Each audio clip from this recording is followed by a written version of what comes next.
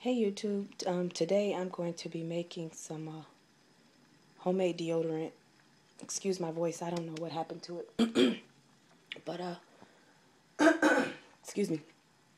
But to this I have added um, one tablespoon of cornstarch, one teaspoon of baking soda, um, you might want to watch it on the baking soda because that can be irritating on your underarms. Uh, it does cut the odor down, but it could irritate you. So I wouldn't suggest putting more than a teaspoon.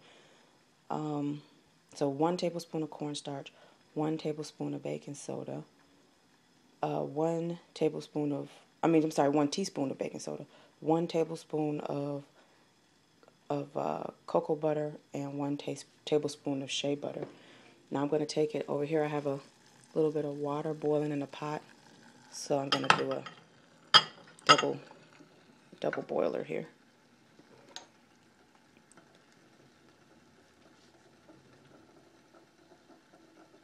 And I'm going to melt this. I was going to do this beforehand, but I wanted to show how quick it does melt.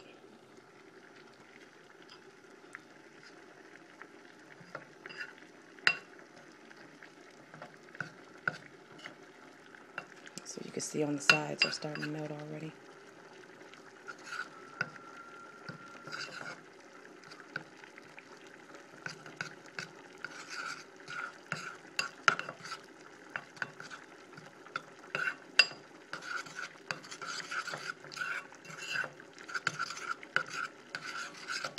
I'm going to turn the heat that off because it's already melted.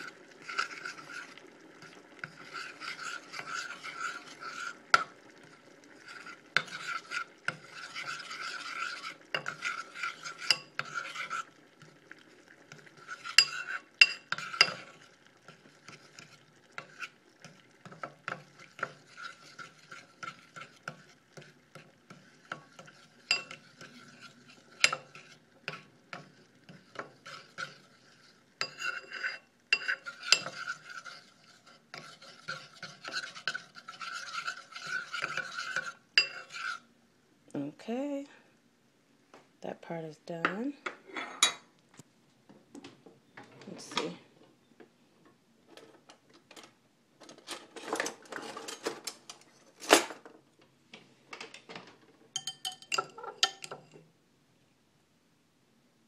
Okay. Now I am going to add one, I'm sorry, uh, about, my husband is on this orange kick. Last time I put lavender in, but I'm going to do about 20 drops of orange.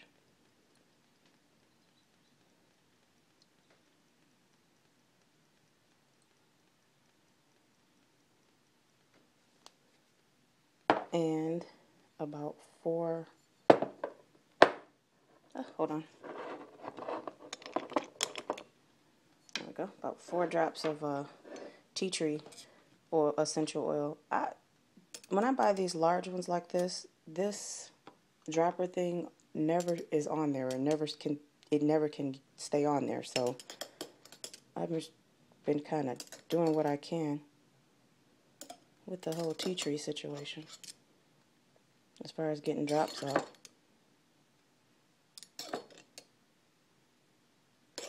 This tea tree is very strong, so but it's a uh, it's antiseptic, it's an antibacterial, all the good things to keep the bacteria out from under your arms because the bacteria is what makes your underarms smell.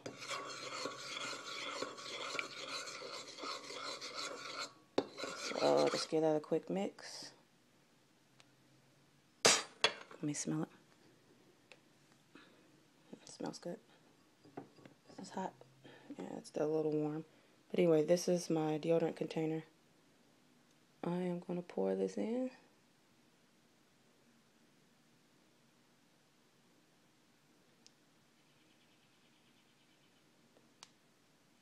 And I will put the lid on here and you can let it set overnight or, you know, all day and it will solidify.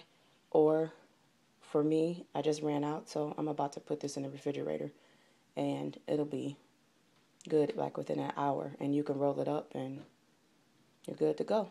So, thanks for watching.